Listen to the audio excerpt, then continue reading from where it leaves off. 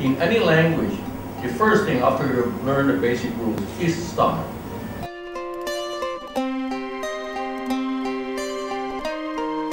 But I want to make my essay, my prose, approachable, accessible to the common reader.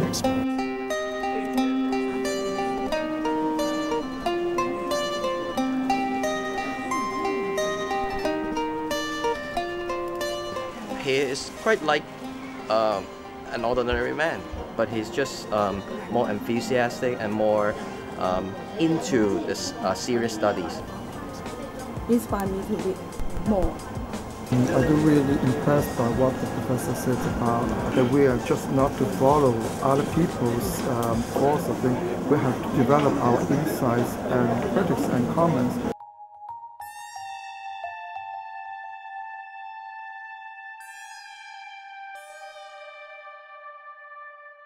So this may be my only book, perhaps.